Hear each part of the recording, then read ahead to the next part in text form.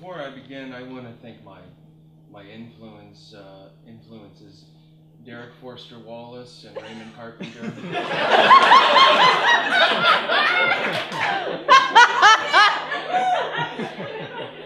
You've heard of them. I want to be clear, I haven't read any of their work, but I've heard they're great. Lots of other people in this program.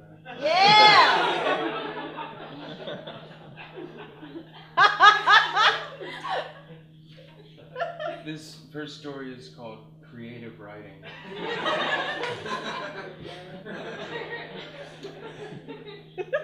This is complete fiction, by the way. Uh, I'm sorry, I couldn't print it out, so it's on my phone. Why aren't you the wig? Please shut up.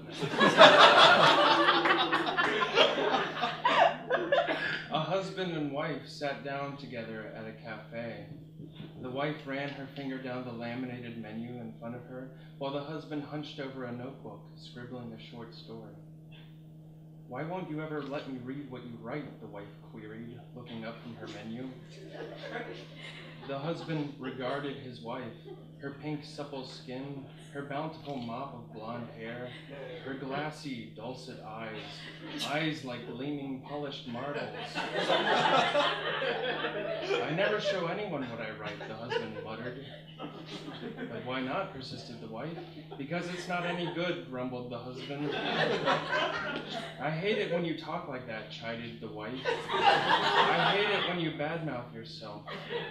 It's true, though, scoffed the man. Every word I write is terrible. The husband loved his wife, but sometimes she made things so difficult. The husband loved his wife like she was some sort of magnificent rare bird. The husband loved his wife like he loved the tickling bubbles in champagne. The husband loved his wife in the same visceral way a person loves peeling the glue off of their fingers in a single large chunk after it's dried and becomes sort of second.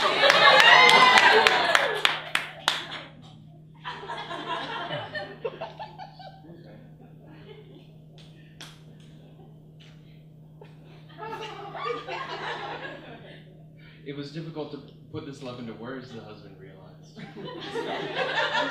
Suddenly, the waitress was beside them. Beside them, she was thin and tall with sharp bird bone features.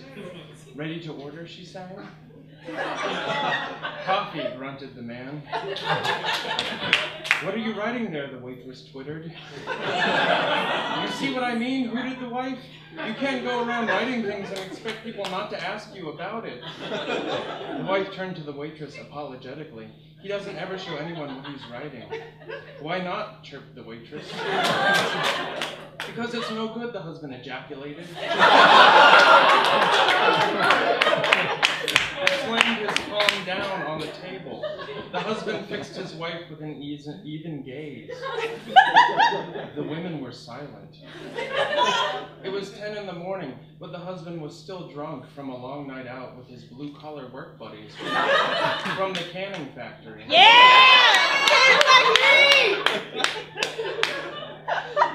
The husband was a blue collar worker because the husband knew that there was probably something noble and romantic about that. The waitress quickly took the wife's order. The eggs Benedict, please, crooned the wife. The waitress gathered up their menus and left. Alone again, the time had come for the husband and wife to discuss their hideous past traumas with one another. I felt like a failure when my parents got divorced. I felt like it was my fault, my fault, revealed the wife. Of course it wasn't your fault, consoled the husband. Your mother and father were each having multiple secret affairs. But it seems like that's the point of marriage, pleaded the wife. You get married just for the thrill of having an affair later. Are you having an affair right now? snapped the husband. Would you just look at all of this light? The, gushed. The light slanted through the glass in a beautiful way. The light dappled the floor. The light filtered through the leaves of the trees outside, giving everything a green hue. The light glinted in the glass case near the register at the front of the cafe and made a constellation of, of diurnal stars on the opposite wall. The light cast an aura around the little bits of dust that hung in the air. The light was a gauze sheet. The light, the light was like God's warm palm reaching down from heaven, caressing the cheek of creation. Are you having an affair? demanded the What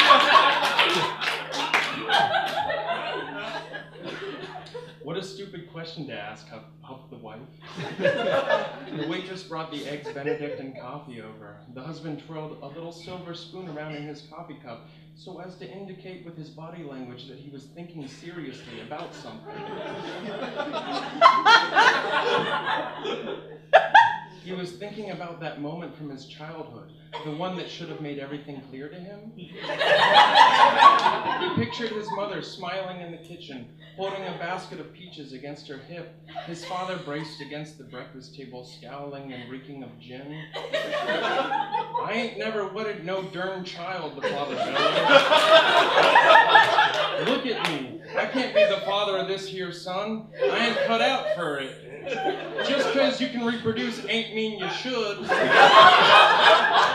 at my son. He's just a copy of me, a degenerate, a second-rate citizen, and I'm a copy of my daddy, and he was a copy of his daddy. Where's it all end? The father, the father gurgles.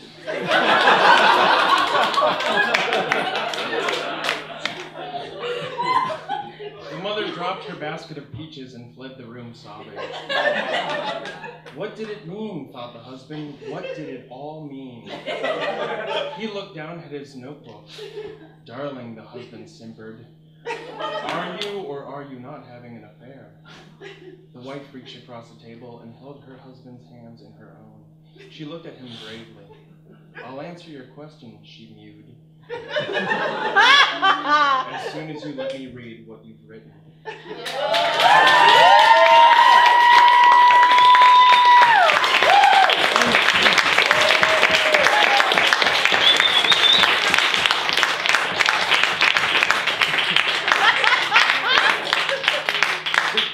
you're gonna have to shut up now. I'm still recording. You only get one. This is called. You rolling? I, I thought about not reading this because it would be too depressing, and then I decided I didn't give a shit about your feelings. Yeah. This is called Jim Carrey Alone at Home. I do I do want to I do want to uh, make sure this Jim Carrey is a completely fictionalized version of Jim Carrey. If, if any of his lawyers are here tonight.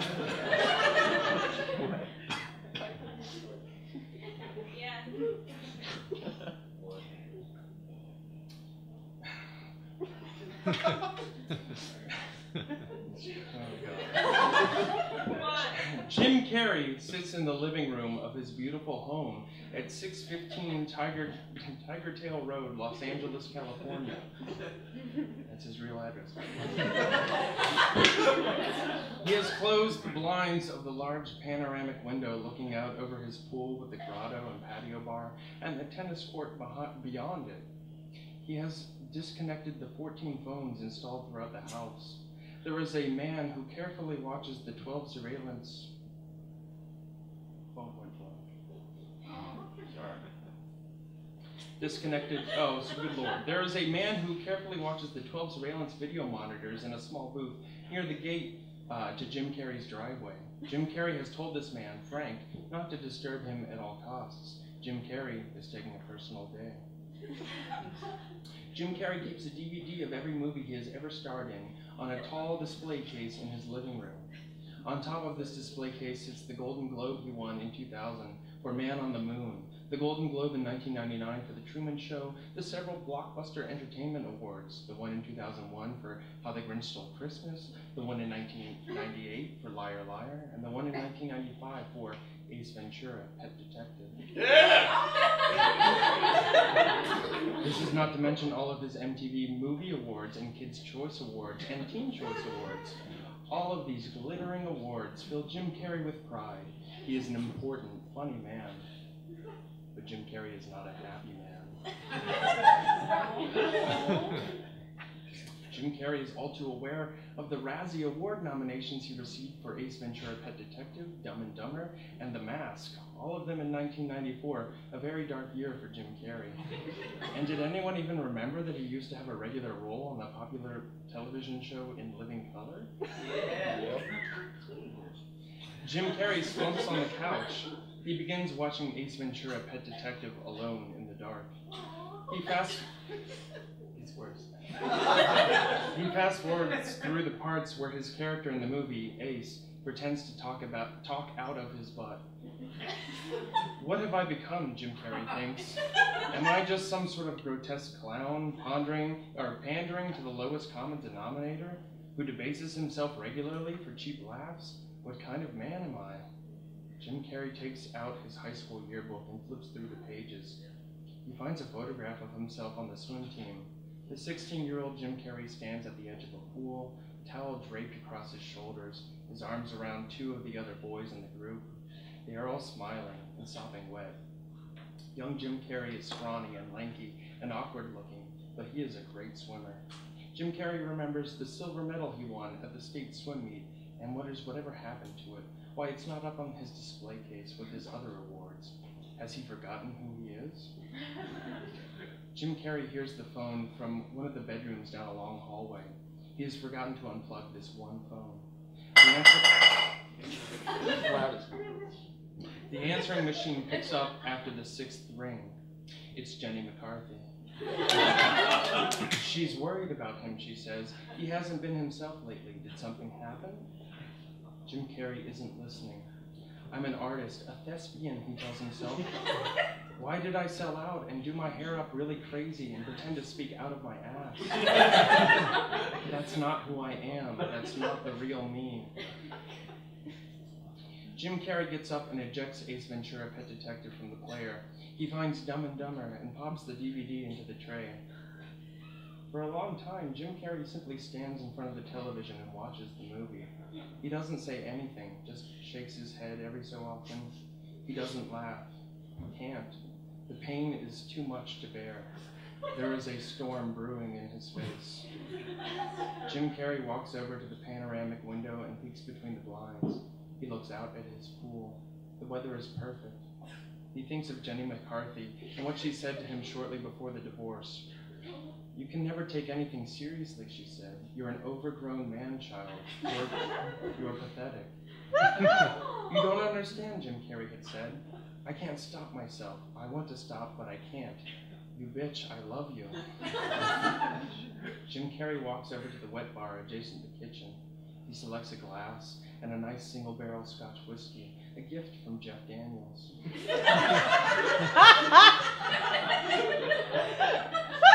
he pours himself a glass and then another. And then Jim Carrey just gives up all pretenses and drinks straight from the bottle. He looks old, he realizes suddenly. Where is the happy go lucky boy of his youth? Where did all of that bombast and energy go? His jowls sag, his joints ache. In the back, in the background, he can hear the scene in Dumb and Dumber where Jeff Daniels' character, Harry Dunn, falls victim to the mischievous scheming of Jim Carrey's character, Lloyd Christmas. It is the infamous Turbolax scene, where for nearly 30 unbroken seconds, Harry Dunn proceeds to violently evacuate his bowels for the audience's amusement. I am nothing but a walking poop joke, Jim Carrey. Jim Carrey does not own a gun.